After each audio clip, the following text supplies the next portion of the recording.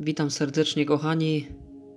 Kolejne przesłanie, tym razem Gisella Cardia, Trevignano Romano, orędzie Maryi.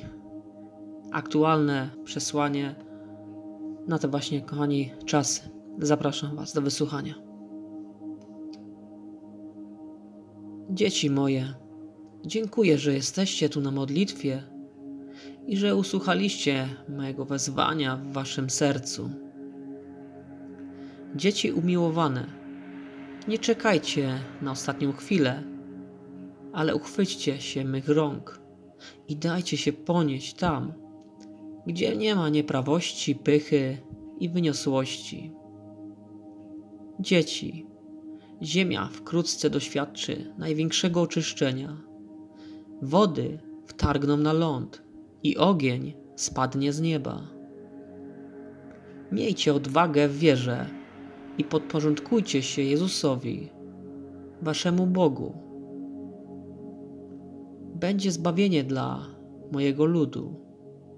Nie lękajcie się, ale bądźcie gotowi. Módlcie się za Kościół. Stamtąd wyszły podziały i mówię wam, żałujcie za grzechy, zanim będzie za późno. I to dlatego Jezus cierpi. Módlcie się, dzieci moje, ponieważ małe wojny będą coraz silniejsze.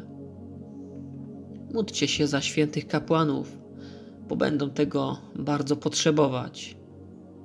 Teraz Was zostawiam z moim świętym błogosławieństwem.